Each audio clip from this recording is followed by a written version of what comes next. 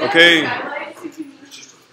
let's get started. Um, really important and cool day today. Okay, very important, cool today, day today, but we gotta kind of make sure we get it all covered, so we gotta move fast. So while you're putting your um, heading on, passing it in, let me point out some of the announcements. So you're passing in your homework.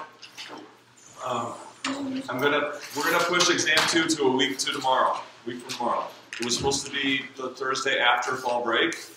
It's a much better idea to have it. We're, we'll get through all the material in plenty of time, and then it'll be fresher in your mind, and you won't have this break to forget a lot of stuff, right? So, and then you'll have it, and then we can have, maybe have the break off or something like that, okay? So I think it's a much better idea to do it a week from tomorrow. So many of you after the first exam, it didn't go as well as you hoped, and you said, how do I get my grade up in the class? So listen now.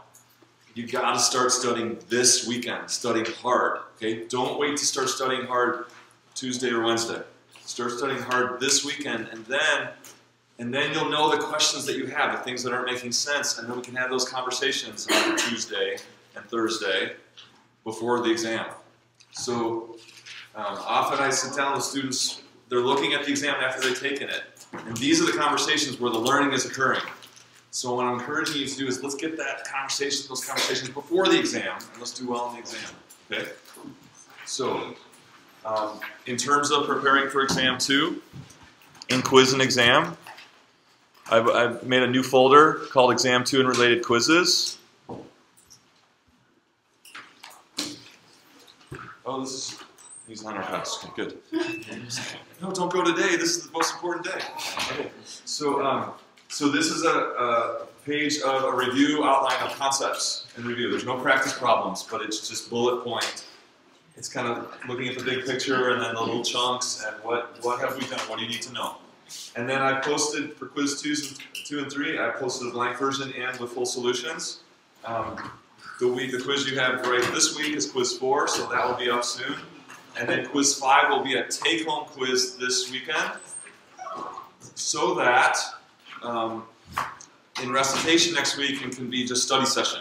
Okay, so again, if you study hard this weekend, then you'll have I can be around for the first half of for the first half hour of of recitation, and Marissa will be there, and it can just be more studying, more studying, and then with you guys together and with me there. Okay, so get and then all the homework, right? So with all the homework that we've done um, I'll, I'll start putting up some solutions for the homework as well at the same place where you downloaded the actual homework. Okay, so in the homework, in the assignment section, you'll see the homework, but now there'll be a new link for each one, not each one, but some of them will have some, some solutions posted. Okay, so you got plenty to dig into, the quizzes, the videos, all the homework to get studying this weekend, okay, this weekend. All right, back to 270, home. Okay, next thing is My Math Lab. Coming, so we want to, we're actually going to do some My Math Lab before the exam next week. So it's not for Friday, but it's possibly for Monday. So you're going to get, I've, I've set up the course. You're going to get enrolled. Okay, get enrolled today before Friday. Here's what you need. You need the course ID. So you need to have bought the book, which which you all did at the beginning of the semester, which gives you um, access on My Math Lab, and then you need this course ID. Okay, and then um, I'm putting together a, a graphic calculator keyboard shortcut list. So as you're working on your file,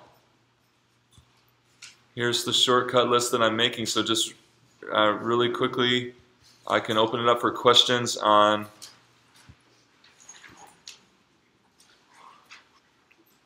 and this is after I get, after we get an, uh, a rough draft of this today, then I'm going to post this. It's a separate link on right, right here. So GC keyboard shortcuts. So after today, I'm going to post this first one after class today, and then I'll keep updating it, right? So we'll always have more and more good stuff. So let's just look at the thing we did at the end of class last time and the shortcut list. and ask, do you have questions about what we did last time? Um, in terms of, so what do we do? We set up the rate function. We set up a delta x slider. We plotted points at the intervals along the axis, the x-axis. We established the left function, we established the step function, and then we graphed the step function. And to get rid of those, the, we don't want the vertical lines, we just want the pretend rate function, right? That's our step function. So to get rid of that, we can just say we don't want it to plot. Don't plot any of, that, any of those endpoints. So don't plot when x is equal to left x, meaning don't plot at our endpoints. And it'll, it'll get rid of those vertical lines. Okay? Um, so, uh, I need some help from the PC people. The, the is a member of. What is that? What is is a member? Control shifty. Oh, you're so good. Like that? Yeah. Okay, how about less than or equal to and less than greater than or equal to? Oh, you guys don't even need this list. I'm, I'm kidding. It'll be great to have. And then control shift, period. All right, continue like this, the dot, dot, dot. Control. That one? Okay, so any, so this is, um, this is everything I could find that I thought we needed. Function parentheses, delta symbol. It looks like, did anyone find delta symbol on a PC? No. Okay, so smart. Frowny face. Okay, um, but again, that's graphing calculator has no idea what that symbol means. We're just using it. You can just use it as if you're going to use it on a Mac. You're just using it as a part of a string or as a as a variable. It has no idea it means change. Okay, so you're just using it as a. So you can use something else. You can use d, or you can write out the word delta. Okay, but remember that whenever you're doing a string as a parameter, you you start it off by doing the backslashes. Anything else just glancing at the list, I don't want to take a lot of time, but that you can think of that I've forgotten so far. Okay, so as, as you're coming across things, as we continue to use Graphing Calculator, and there's things that are not on here, email me or talk to me in person. We'll keep we'll keep building this. Okay, but I will post this version um, right on Blackboard uh, sometime this afternoon. Okay. Questions about the the step generator? Any questions about the step generator? In your homework, you kind of got to practice this, right? To get it to work, to generate step functions. Okay, here's the cool thing now. Because we've generalized it, we can start A anywhere we want. So you come up here and just change A. Right, so I'm going to do, I'm to start A at 3.5. And because we've done everything in terms of A, when you change A to 3.5, it starts at 3.5. And that's somewhat impressive, but the real impressive thing is what? Did you mess around with delta x. Again, everything that we've done is in terms of the parameter delta x that we can slide. And so, what happens when you decrease delta x? The interval, the points on the axis follow suit, and so do your steps. So how about your TI-85? You see why we don't do a TI-85 in this class? This is this is really powerful to see what's going on. Okay, now so if you make delta x really small, and then come here and I'm going to turn off the original rate function with delta x really small. What do you see? So I just turned off the original changing rate function. This is still a constant rate step function, but what do you see? It's yeah, it's like basically, and so the smaller you make it, I think I, I got a little bit more to go here. What do you see? How about this step function for a pretend rate function? Good or bad? Good. Fabulous, right? It's amazing. You can't even, you can barely see that this is still a constant rate piecewise step function. But you can't, you can't tell the difference. Okay? That's using tech te- technology, okay? That's, that's, that's good stuff. Was that a question? I did, thank you. I did. I started before. Okay, any other questions about um, this, the step function generator? So today we're going to build the one line accumulation function from the step function. Okay? Are you excited? I am. Okay. Because so far, what has our what of that that what has that accumulation function look like? The, the, the rule for it. Remember? What's that? Piecewise. Piecewise. Remember, we had the the point slope form over and over again, right? Point slope form. And so, how would that look for this one? Right? It would yeah. It would be it would be a stack of piece of, of um, point slope forms a mile high, right? So, so we want to do it in one line. We want to do it in one line. So here we go. So let's review, okay? So this stuff should look familiar here. I'm showing you a graph that has some familiar things. I'm showing you an expression that should look familiar. And so a couple questions for you and the person around you, or the little group. What kind of function is implied by the blue curve? What's the input and the output? What kind of function is the pink step graph? What's the input and the output? And why do we create it? Go.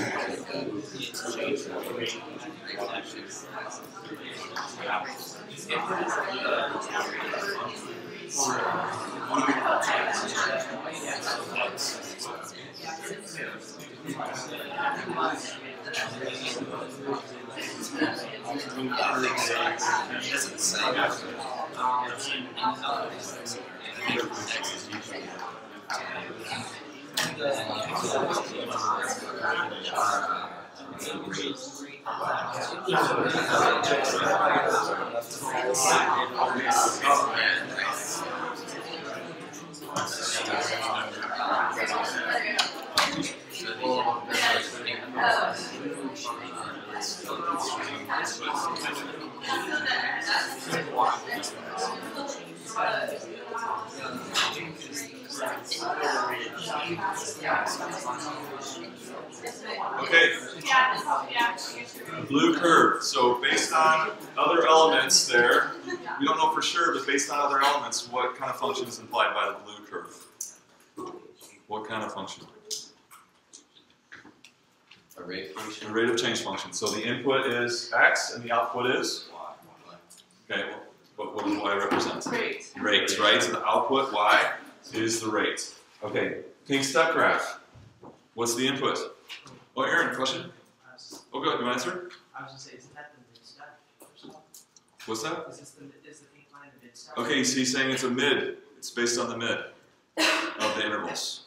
Okay, yeah, it's a mid step. But what, so what, just in, before we get to that, what about the input and output of the pink step graph? Input is X. whatever our x quantity is, and what kind of quantity is the output of the pink step graph? Constant rate. What's that? Is it a constant rate? Constant rate. Is it still rate? Right. Yeah, it's still the same output values as the blue one. It's just now it's it's now it's constant rates, right? So it's still rate of change. So They're both rate of change, right? Okay, why do we create the pink step graph? We've asked this a million times, so hopefully this is sinking in. Why do we want that, Christian? uh, so we can have a constant rate over an interval, so we can, it's easier to easier to accumulate for the convenience. Yeah, it's possible, right? It's possible to accumulate um, by using what what principle? Constant rate of change, right? Constant rate of change. Delta y equals k delta x. So uh, let's see. I'll just do two at a time here. Okay, so name all the specific characteristics of this particular pink step graph. So one of them was, um, Aaron pointed out, it's a mid graph. So besides the fact that it's a mid graph, there's lots more to talk about about this particular one, like numbers, right? Actual numbers. All right, so do that, and then um, the third interval from 0.6 to 0.9. How is the constant value determined? Go. Name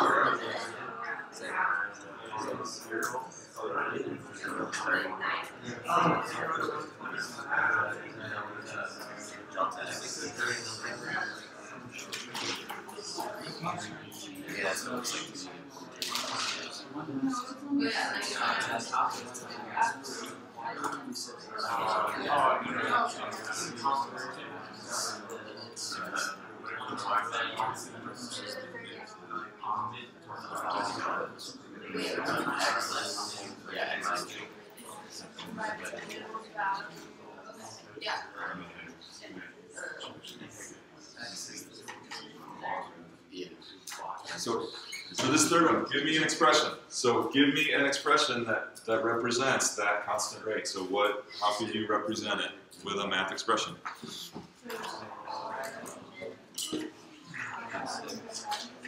So that's. Uh,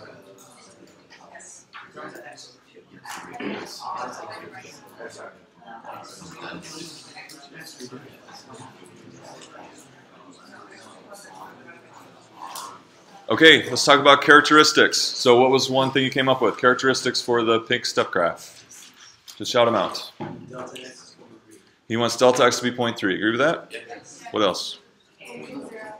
A equals zero. And we said it's mid, right? Anything else to talk about on that one? Can you think of anything else? I'm not sure that there is. Okay, cool. So the third interval, 0.6, 0.9. So I'm pointing it out right there. So how can we write a, an expression that e- that is equal to, equivalent to that constant rate? What expression could we write? Chloe. Um, just to get the y value of that? Of that constant rate. So that's a, there's a constant rate for that third interval. Yeah, so So the value of the constant rate is gonna be r of x two plus x one divided by two. Okay, so we, can you see what the so we can just yeah just just see the number yeah Uh, point nine, seven, point seven five. zero point seven five. Agree with that? Yeah, it's good. So the, the constant rate for that whole interval is the rate at the at the midpoint. The midpoint from 0.6 to 0.9 is 0.75. Okay. Keep. Yeah, we already did that. So we'll just do number five for now. Write step function in another way. So how could you write that function step x? How could you write another expression that's equivalent to step x? Figure it out. Go.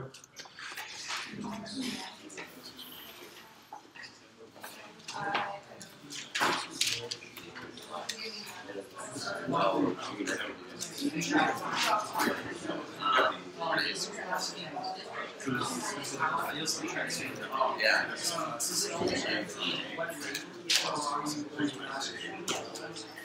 Ask me again.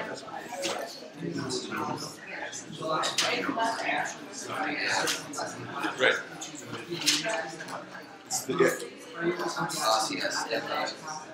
X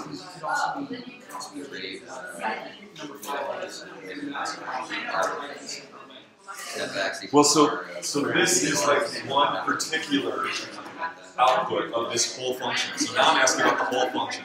That's why I'm Yeah, saying, are you it's- asking what first and how to? Or, because it seems like you're asking what would be used, and now you're asking how to do it. It's kind of this. It's the same question actually. I'm here. I'm asking for a particular output. Here I'm asking for the whole function. Yeah. Yeah. Don't get bogged down on the what now. This is really the same question, but the first one is just for a particular output. This is for the whole function. You're not, that's why I'm. Remember, I try to make the test as clear as I can. Yeah, I, I do my best. Okay, anyone got it? Step X is the same as. How about somebody new? Janae, did you get it? Um, I was not sure which one. We need a new expression that will be the same function as step X. Or, and basically, where does step X come from? How do we build step X? The rate of. That's another way to write that function. yeah, that's that's that's the only other way. That's where how it's built. You take the current x value, you put it into mid, and then you put that mid value into the rate, it'll give you the rate of, of that constant rate at the at the current x value. So r of mid of x. Make sense? Review. Okay. So you got this sum up here. And I want you to relate it to the graph. What does every part represent? So I'm going to break it down. So let's start here. So this this will be number say A. And then say that right there is B. And then the whole thing is C. So what what what does A mean? What does B mean, for example? And what does the whole thing mean, C? Go. A is the rate that A is the constant. B is Yeah, it's great. It's like came from Uh, I think it's a rate. It's you see some change in X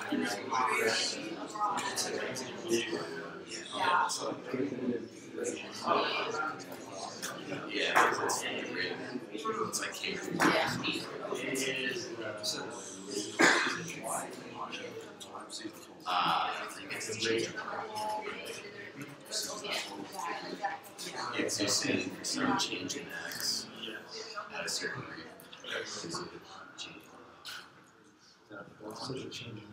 Is it change? So maybe before we do that, we should say this is a rate for some quantity we're calling y. Okay, so this is the rate of y. Okay, so A here. So R of 4. What is R of 4? Peter, It's the rate at, uh, the constant rate at the fourth interval. the constant rate of the fourth interval. So is this the, the highest one up here? Yep. Okay, that's R of 4. It's that constant rate at the, for that fourth interval. Okay, what about B? R5 times delta x. Connor.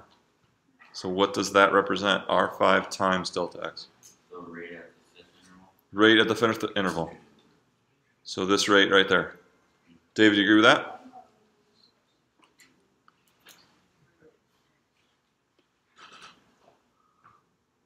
Cross the fit.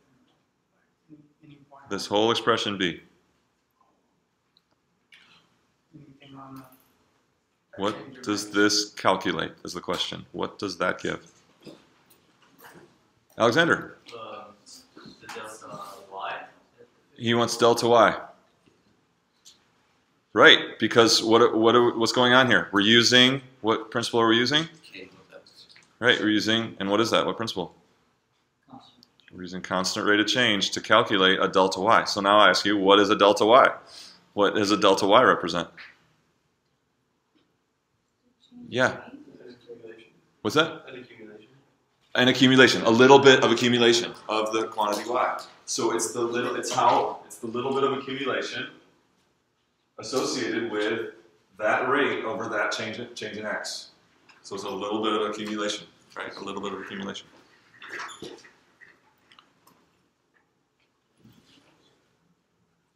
So a little bit of the accumulation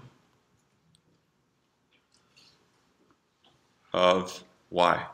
So we have the rate of y, and we're building towards the accumulation of y. All right, what about the whole sum? So all that sum together, what would that be then? Jonathan? Uh, that, that will give you the total accumulation of the function. From? Uh, from the interval one to ten, What's that? from one to ten. From 1 to 10? All the intervals. So R1 starts where? Where do we start? Zero. 0. So put it all together. Zero to three. 0 to 3. He wants the total accumulation from 0 to 3. Yep, that sum will add up all the bits of accumulation, our bits from delta x intervals of 0.3, and give us the accumulation, the total accumulation from 0 to 3. Any questions so far? Okay, so then identify what in everything above, what shows the accumulation from 0 to 1.2, rewrite it with summation notation. Go, so show the accumulation. What, what up here represents the accumulation from 0 to 1.2, and can you represent that with the sum notation? I'll collect the homework. Go ahead.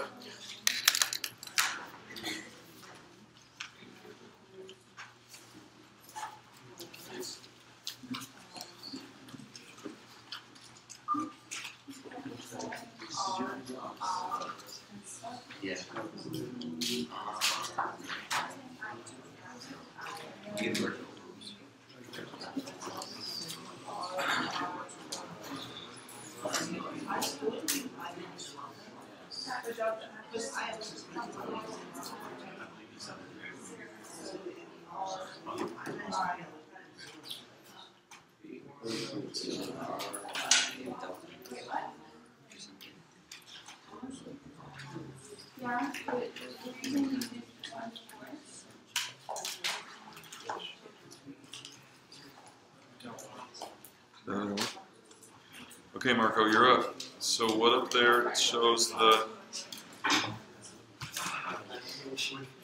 accumulation from zero to one point two. So how, what in all this up here represents that?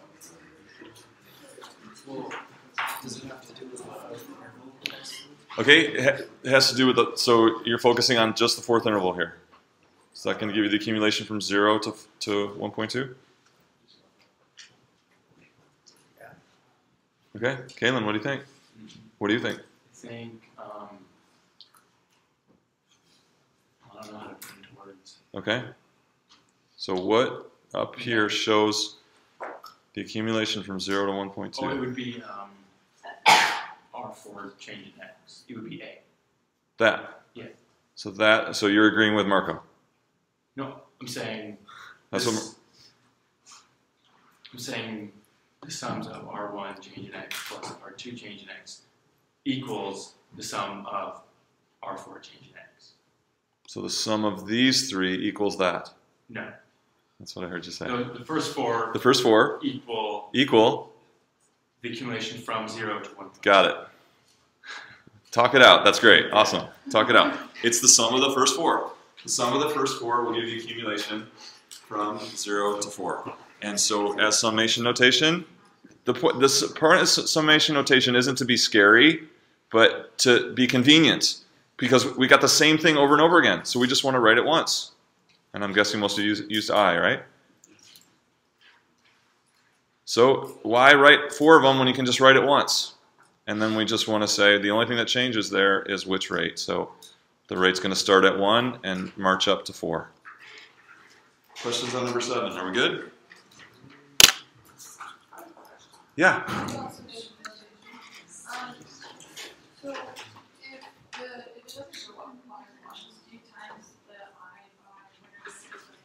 So this, you'll always that will always step by one, and then if you if you don't want if you want to step by something else, then you've got to work that out in the formula. Yeah.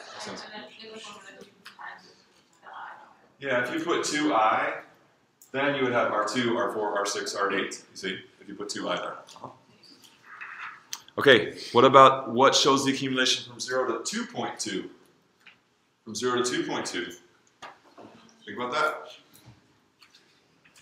So let me point out where 2.2 is. So you got 2 here, and then you got 2.1 there, and then 2.2 is here.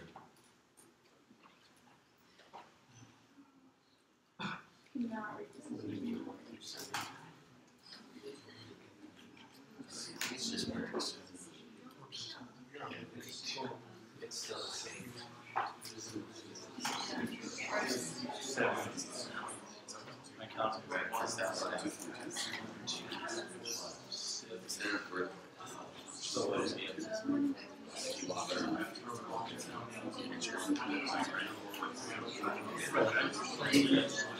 The eighth interval is going to be one point two. Or two point two doesn't do that. Yeah. I think it's just like- Well, we're counting amount of intervals, two point two, not two point two. So then what does the seventh interval? Okay, Ross, can you do it? Tell me. So talk it out. Um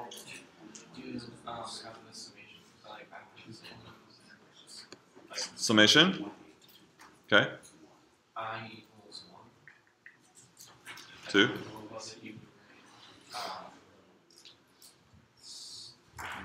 Yeah.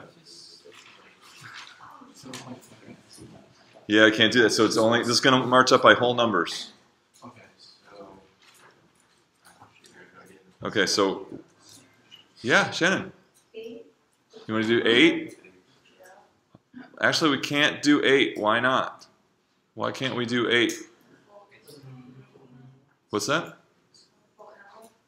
Right. So if we're doing it this way with these whole numbers, we can only get as far as seven. So let's let's do that first. Okay. So it would be seven of what r i delta x.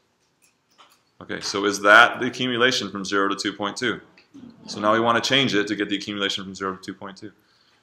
Austin, can you do it? How can I how can I amend this to get the accumulation? I'm not really sure how you do it inside of that. Okay, is it going to be more or less than this? One. Okay, so we're gonna add on some more, and maybe maybe we're adding on a negative. Okay, but we need we need something else. Who thinks they can do it? Tell me your name again. Uh, Aaron, Aaron. um, wouldn't you just subtract two point, or two point one from two point two? Okay, And multiply that by the rate of eight? nice. So he's gonna he wants to do 2.2 minus 2.1. What did he just do right there? What is that? That's a delta x, right? And you want to do it times? Uh, whatever the rate is in rate eight. Very good. That's it. So what? th- And this is the main idea of our accumulation function right here. Is that we're going to have a bunch of what full intervals we're going to accumulate, but then, you know, what's the probability that if I just stop, I'm going to land on an endpoint? Zero. Okay, it's virtually zero. You're not. You're not. You're always going to. If we just randomly paused the x increasing, we're going to land halfway between. So we need a bunch of full intervals, and then we need one partial interval. But they're calculated the same way. Rate times change in x, rate times change in x. It's just that our, this change in x compares how to those. Shorter, right? So it's a smaller change in x. Okay, so this is kind of the structure of our accumulation function that we're building. It's a bunch of full intervals plus the accumulation from a partial interval. Ross. So in branch calculator, what if you know how many intervals? Like, We're getting the graphing calculator. We're going to be able to do it all. Yeah, we- we're going to do it. We're getting there. Questions on this so far?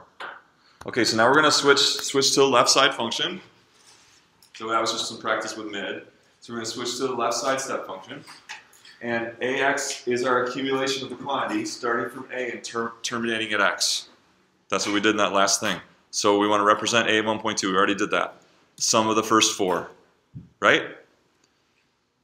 But the question is, what specifically are these rates? Okay, because we need, if we're doing a function, then everything has to be ter- in terms of the current value of x. So in terms of 1.2, what are these rates? So for this particular example, the graph I've given you, you find them. So what are those rates? R of what? Okay, R of what? To get A of 1.2. So R of what? So these are your, these are numbers here. Okay. Now we're switching, switching to the left side, right? Switching to the left side step function. Is the task clear? No, no, no, point two is R.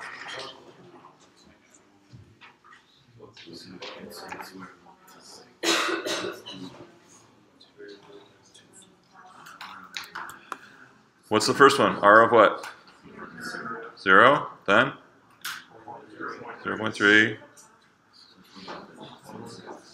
Easy, right? Okay, so now, same thing, but in terms, not in terms of those values anymore, but in terms of A and delta X. So can you fill in expressions of A and delta X that gets those same rates? Go.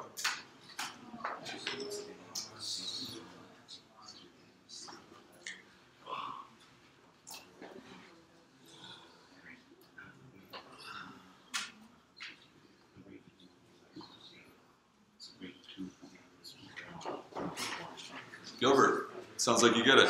Um, so. First one is? We can call, uh, the rate at one, we can call it rate of A. So just A. And then the next would be A plus one, A plus 1? A plus two. How far are we going over one unit? That, that, was, that was saying you're going over one unit. How far? And what is point three? Yeah. So by one, you meant one delta x, right? That's what you meant. So then, a plus 2 delta x, and? Did I lose anybody? Doesn't make sense. So how do you get, so using a delta x, how do you get out to here, say? would be whatever A is plus one, two, plus three delta x's. Uh, Would be the left side of which interval? So A plus three delta x's is the left side of the which interval? the fourth. The fourth interval. You see? A plus one delta x is the left side of the second interval. Okay, so now we want to generalize that. Summation notation. If j is our counter, what expression goes in that gives us the right, the correct left endpoint? We want to, we're adding these four together. So what expression of j and a and delta x will allow us to write that in summation notation? Think about it. These parentheses are supposed to be subs, right? So R's is A, Yeah. R's is J, X. No, these are the inputs. These are x values. These are the inputs into the rate function. These are inputs. These are A R of. I. R of zero. R of one. Wait, no, but then. Um. Did you get it? I think so, but then when J has to start at zero, A minus one. No, it's going to start at one. We're going to start at one Okay. because one is going to stand for the first interval. So we want j to be to be the interval number. So in the first, we got the first interval, right? And the second interval. So j simply wants to be the interval. We don't want to change this. We want to work that out here, so that j is the interval number. So, Jinrong, did you get it? Not really. Okay. What was the first one? So let's, let's or the the fourth interval. What do we do in the fourth interval? We had a plus 3 delta x to get to the left side, right? And what do we do in the second interval? We had a plus 1 delta x. In the second interval, we added 1 delta x. And in the fourth interval, we added 3 delta x. So who thinks they got it? Aaron. J plus delta x. j plus delta x. What do you think? Is that what that's doing? Wouldn't that work if you started at zero? That's it, yeah, that's what I said. No. Um, no, j plus delta x doesn't work regardless of where you start. Sorry. j plus delta x does not work. No, if you did A plus J delta X. But we want j to be the interval number, so just, just erase that idea out of your mind forever, okay? j is the interval that we're on. Interval number. So we got to work that out here. So, Chloe, A plus the quantity J minus one delta X. a plus the quantity j minus 1 delta x does work. We always start with the a, and we're going to add, always add one less delta x's than the interval that we're in. You see? So we're going to we're going to add one less. You see? Doesn't make sense. We're always going to add one less delta x's than the. In the fourth interval, to get to the left side of the fourth interval, we're going to go three delta x's. To get to the left side of the second interval, we're going to go 1 delta x. To get to the left side of the third interval, we're going to go 2 delta x. So it's always 1 less delta x than the interval, number interval that we're in. Is it better? Okay, so what about a of 2.2? a of 2.2. So how many full intervals? So again, a, where's a of 2.2? There's our two x equals 2.2. So full intervals. We know how to do full intervals. Express seven full intervals as a sum. Express this the accumulation of seven full intervals as a sum. We already know how to do that.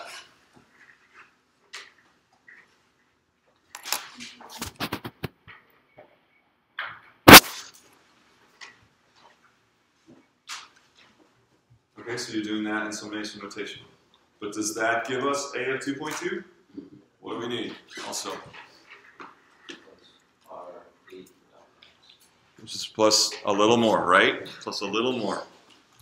And it's going to be right, R8 delta X. So those first seven,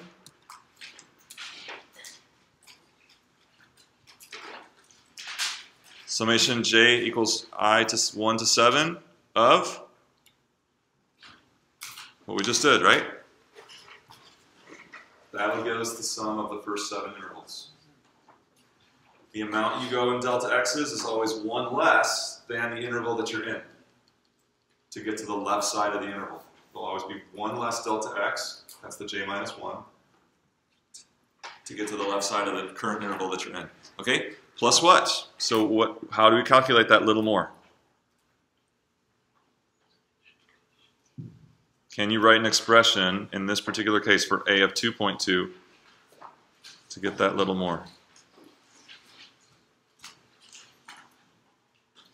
Anybody think they can do it?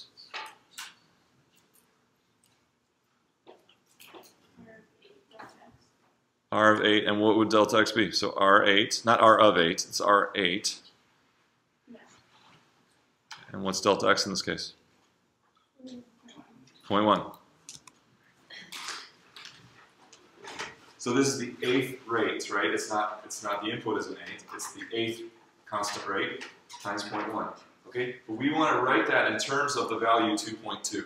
How can we write that whole thing in terms of the value 2.2? See if you can do it.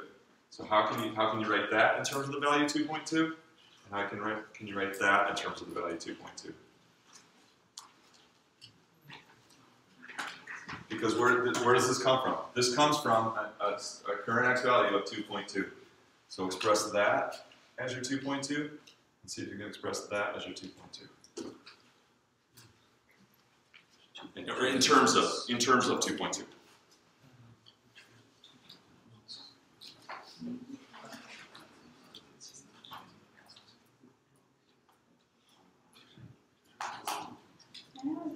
How about this point one? That's easier. So Melody, how can we write the point one in terms of 2.2?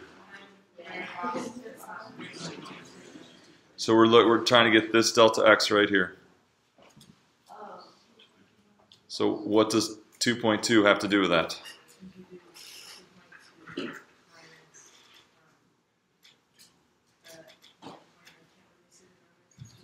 Yes, so we're at point threes. So yeah, good.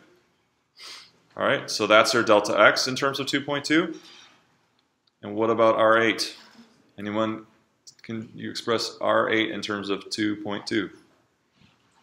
So we, what happens? We want to put, yeah. Right, and what is 2.1 relative to 2.2? That's right, it's R of 2.1. And where does 2.1 come from? Left of. Good. It's the same thing again. So we want R of left of 2.2 times 2.2. And actually, what is the 2.1? That's left of 2.2, right? So now we got the whole thing, that whole little, all this work for that little bit of accumulation, right? All this work for just that extra little bit. 2.2 minus the left of 2.2 gives us delta x. And then the, the rate in that interval is r of left of 2.2.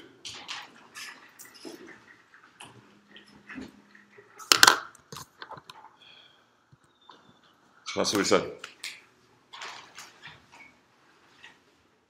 Okay, so we, we just have to summarize now. We basically got it. We're going to sum up a bunch of full, the, the accumulation for a bunch of full intervals, and then we're going to get the, the little accumulation left in the last partial interval.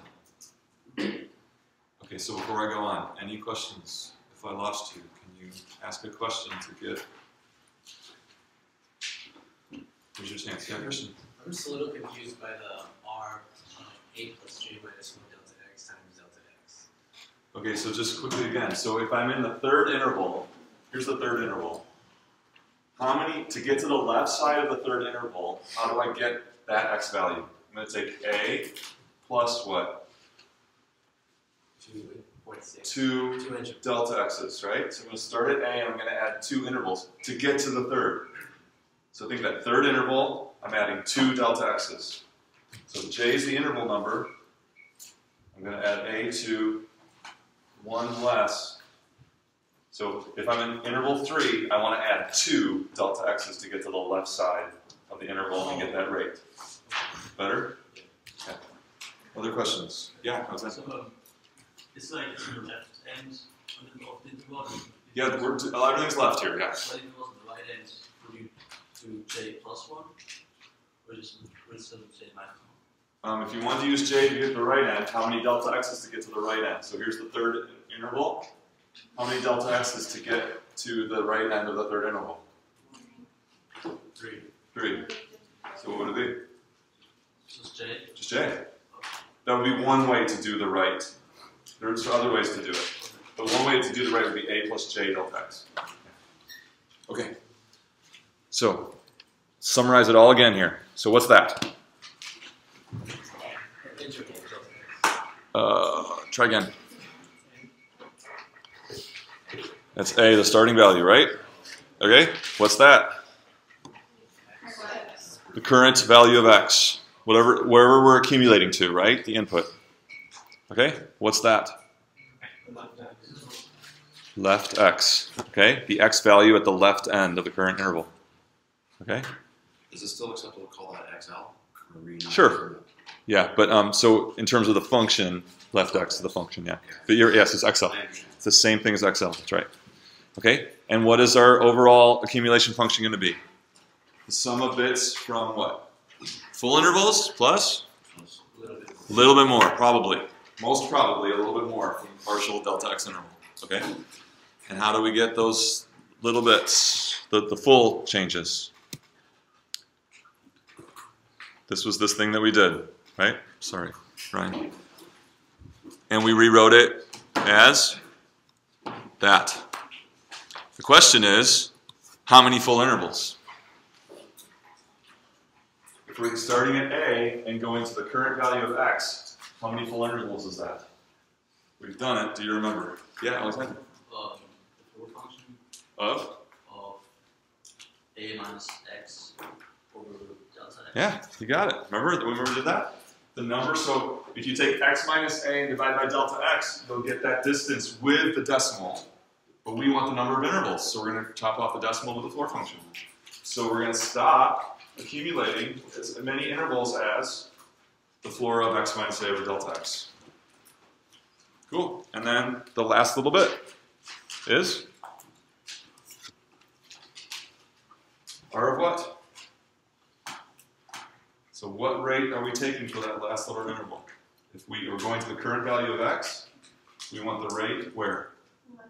At left x. And what is delta x? x minus left x. Is that that's their delta x. x minus left x, and the rate we want at left x.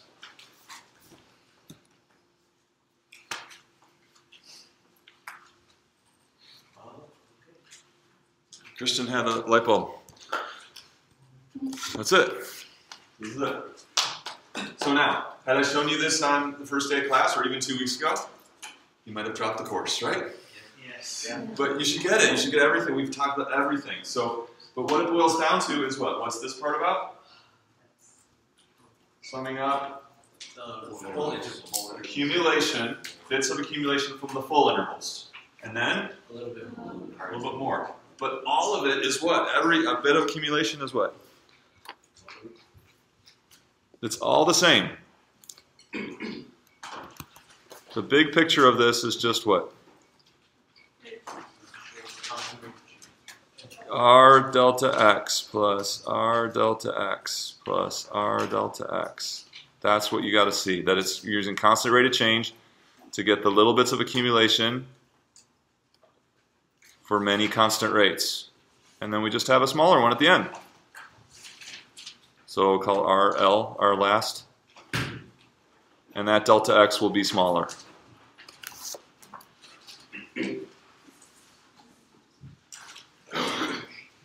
Okay, so what do you need to put this in graphing calculator? The only thing, the only new thing you need is summation notation, which is on the list. I think for everybody it's control S. So anyone got graphing calculator up? Yeah. Do control S. Control Control Shift S? Does it give you the sum? Yeah, And then it should give you some places to fill some things in, right? Yeah. So all you need is Control S on Mac or Control Shift S, and you're gonna put in your starting value, and you in that little place up there, you're gonna have to do floor of that thing. If you go back a slide. Uh, yeah, after after we're done. So we made it. We're out of time. Okay, so um, recitation. You guys tomorrow have quiz. The the bullet outline is posted. Then we'll have homework for Friday. We'll have a take-home quiz Friday. And this weekend, start studying for next Thursday's exam.